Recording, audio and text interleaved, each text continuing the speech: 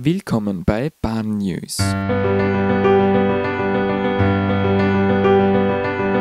Österreich. Westbahn verkauft alle Züge an die Deutsche Bahn. Am 22. Juli wurde bekannt, dass die Westbahn alle 17 in ihrem Besitz stehenden Züge an die Deutsche Bahn verkaufen wird. DB Personenverkehrsvorstand Berthold Huber erklärte, Zitat, die Züge sind in einem hervorragenden Zustand und bedeuten Komfort und Zuverlässigkeit für unsere Kunden. Die Züge, die bekanntlich vom Schweizer Hersteller Stadler Rail kommen, sind bis zu 200 km/h schnell und bestehen aus vier bzw. sechs Wagen mit über 300 bzw. über 500 Sitzplätzen.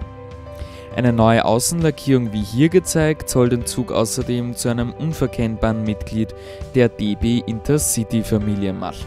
Die Deutsche Bahn erhält die ersten Züge bereits im Dezember und wird sie als Intercity 2 auf der neuen Linie Dresden-Berlin-Oranienburg-Rostock einsetzen, sobald eben die erforderlichen Test- bzw. Schulungsfahrten abgeschlossen sind. Bereits ab Frühjahr 2020 sollen dann die ersten Züge im 2-Stunden-Takt pro Tag und Richtung auf dieser neuen Linie verkehren. Bis die Westbahnzüge in Deutschland im Einsatz sind, startet die neue Linie zunächst mit Intercities der ersten Generation. Weil schon ab Dezember die erste von zwei Tranchen an Zügen nach Deutschland geliefert wird, fährt die Westbahn ab dem Winterfahrplan dieses Jahres nur noch im Stundentakt zwischen Wien und Salzburg. Ab Ende 2021 plant die Westbahn dann den Halbstundentakt wieder aufzunehmen. Dann sollen nämlich die ersten neun Züge eingetroffen sein, die die Westbahn wieder aller Erwartungen nun doch von Stadler bekommen wird. Die ÖBB werden sich jetzt bemühen, die Angebotsreduktion der Westbahn bestmöglich mit eigenen Zügen zu kompensieren, so der Sprecher Sven Pusswald.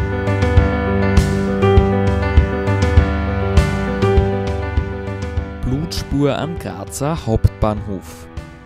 Eine Blutspur am Grazer Hauptbahnhof gibt weiterhin Rätsel auf.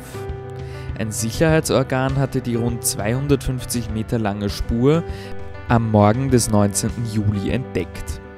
Sie führt vom Wasserturm westlich des Bahnhofs durch den Personentunnel Nord bis in die Wartehalle und zum Bahnhof Vorplatz. Dort endet sie, hieß es am Freitag seitens der Polizei. Trotz der großen Blutmenge, die auf eine recht schwere Verletzung hindeutet, weiß man nicht mehr. Mögliche Zeugen eines Vorfalls oder Passanten, die eine verletzte Person gesehen haben, können sich mit der Polizeiinspektion Graz Hauptbahnhof unter der Telefonnummer 05 91 33 65 84 in Verbindung setzen.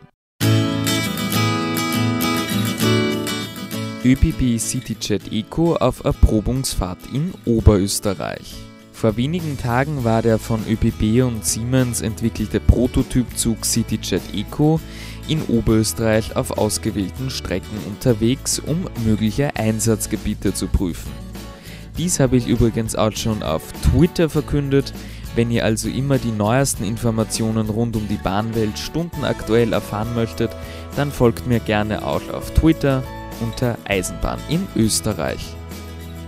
Auf seiner Erprobungsfahrt auf der Almtal, der Donauuferbahn, der Mattigtalbahn und im Rieder Kreuz wurde der Elektrohybride CityJet Eco auf Herz und Nieren getestet. Auch die Infrastruktur wurde betrieblich und versorgungstechnisch auf den Erprobungsfahrten evaluiert, um die Strecken zu identifizieren, die dann auch im echten Fahrgastbetrieb befahren werden sollen.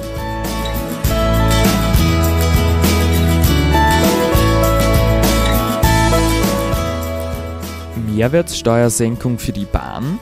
Die Deutsche Bahn unterstützt ausdrücklich den Vorschlag, künftig die Mehrwertsteuer für Fernverkehrskarten zu senken. Bisher gilt für den innerdeutschen Fernverkehr der normale Mehrwertsteuersatz von 19%. Dieser ist ja so in Deutschland üblich. Der ermäßigte Mehrwertsteuersatz, der bereits im Nahverkehr bis zu einer Fahrtstrecke von 50 Kilometern gilt, beläuft sich auf 7%. Nahezu alle EU-Länder wenden im nationalen Schienenpersonenfernverkehr reduzierte Mehrwertsteuersätze an. Die Deutsche Bahn schätzt, dass ein reduzierter Mehrwertsteuersatz jährlich mindestens 5 Millionen zusätzliche Fahrgäste bringen würde. Nicht zuletzt rechnet man damit, dass auch Fluggäste auf die klimafreundlichere Bahn umsteigen würden.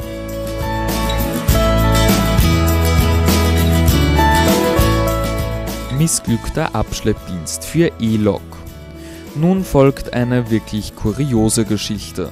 Ein 61 Jahre alter Fahrdienstleiter der Deutschen Bahn ist mit dem ungewöhnlichen Versuch gescheitert, eine E-Lok mit seinem Auto auf ein anderes Gleis zu ziehen.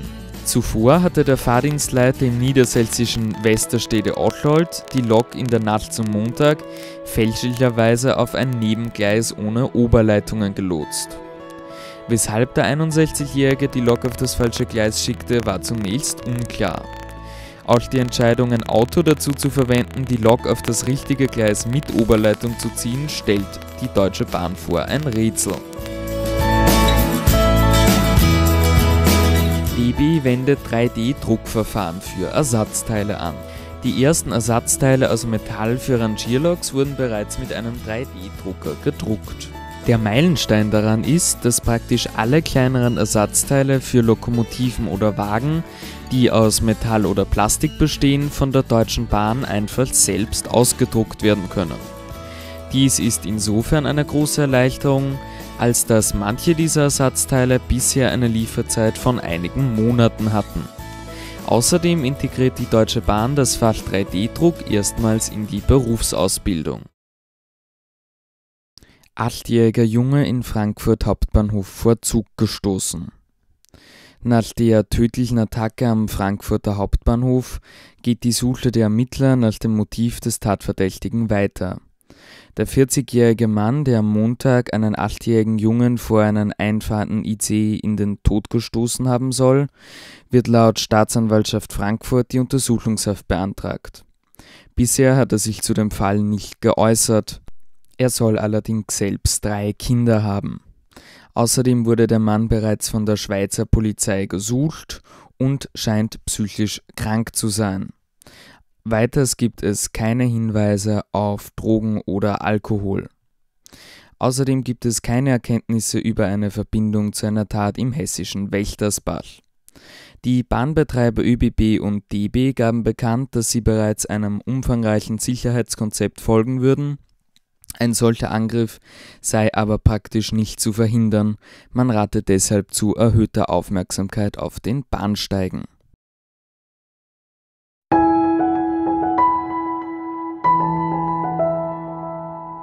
Die weißen Schienen. Die SBB analysiert ähnlich wie die ÖBB derzeit die Möglichkeit der weißen Schienen. Bei diesem Verfahren werden die Schienen seitlich mit weißer Farbe bemalt. Eine Studie in Zürich hat ergeben, dass mit dem hellen Anstrich die Schienen um bis zu 7 Grad kühler bleiben. Diese Messungen führt die SBB während der aktuellen oder mittlerweile schon vergangenen Hitzeperiode durch. Wird eine wesentliche Wirksamkeit nachgewiesen, so prüft die SBB unter welchen Kriterien weiße Schienen auf den insgesamt 7000 Gleiskilometern Sinn machen. Andere Bahnen, eben erwähnt wie etwa die Rätische Bahn und die ÖBB, haben bereits Erfahrungen mit dem Einsatz von weißen Schienen gesammelt. Neben den weiß angemalten Schienen sollen auch Betonschwellen das Risiko für Gleisverwerfungen senken. Für aktuelle Infos und um in Kontakt zu bleiben, folgt mir doch gerne auf Twitter unter Eisenbahn in Österreich. Danke, dass ihr dabei wart und bis nächste Woche.